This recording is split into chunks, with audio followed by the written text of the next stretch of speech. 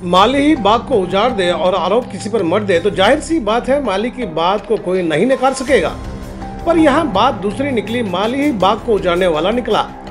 यकीन आपको नहीं होगा क्योंकि पहले पुलिस भी कच्चा खा गई थी और अज्ञात लुटेरों के खिलाफ एफआईआर दर्ज कर जब खानदेश्वर पुलिस तहकीकात करने की शुरुआत किए, तब ज्ञात हुआ कि फरियादी ही लुटेरा है। जिसके बाद खानदेश्वर पुलिस ने बेहद बारीकी से जाँच करने की शुरुआत किए, तब हकीकत से पर्दा उठ गया। उसके बाद शिकायतकर्ता की आवाभगत की गई। पुलिस की आवाभगत से आरोपी इतना प्रसन्न हो गया कि उसने अपना मुखार बिंद खोल दिया और पूरे घटना का ब्यौरा खानेश्वर पुलिस को दे दिया, जिसके बाद खांदेश्वर पुलिस ने लूट की गुत्थी को सुलझा लिए।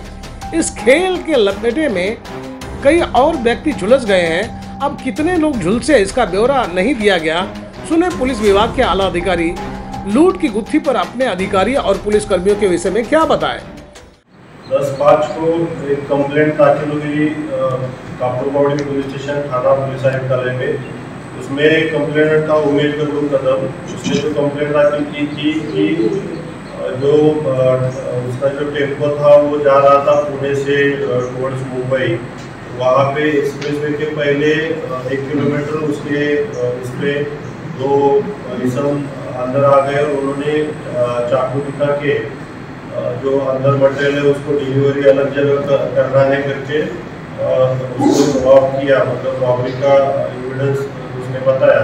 और उसके तहत वो कापाकोड़ी पुलिस स्टेशन में इंसिडेंस है खांदेश्वर पुलिस स्टेशन के हद में तो उन्होंने वो केस ट्रांसफ़र कर दिया खांदेश्वर पुलिस स्टेशन में। खांदेश्वर पुलिस स्टेशन में C R number one forty two oblique twenty two दाखिल किया, जो I P C three ninety two thirty four के तहत गुना दाखिल किया। उसमें एसीपी पनवेल डिवीज़न सोनोने साहब सीनियर पी आई मुकाटे साहब और उनकी टीम ने घटनास्थल पे जाके जो विज़िट की और बाद में जो इन्वेस्टिगेशन के लिए दो टीम बनाई।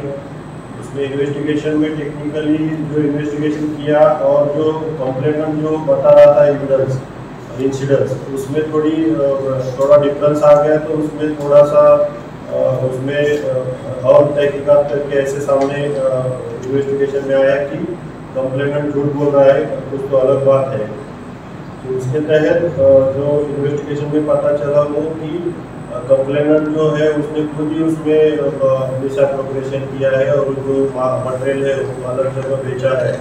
और ये रॉबरी का पूरा बनाव किया है तो उसके तहत जो अच्छा टेक्निकल एविडेंस लेके कंक्लूजन पे आई और उसमें अभी आगे जाके I P C four zero seven में हम सेक्शन पढ़ा रहे हैं उसमें, और जो कंप्लेनेंट है, वही एक्चुअली इसमें एक्टिव थे तो उसको हम हमने अरेस्ट किया है।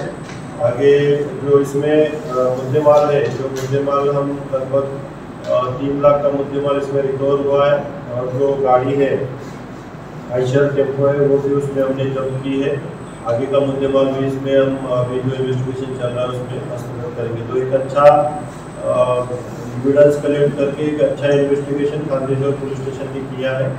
और उसका जो बनाव था, वो सामने आया है तो उसको भी अरेस्ट करके आगे आपको बता दें कि हर चमकने वाला पत्थर ज़रूर नहीं कि वो हीरा ही निकले। कंकड़ पत्थर भी हो सकते हैं। और इस बात की हकीकत को जांचने के लिए दिमाग की कसौटी पर परखना बेहद ज़रूरी है। और खानदेश्वर पुलिस ने दिमाग की कसौटी पर जिस तरह से परखे, वह वाकई काबिल तारीफ़ है।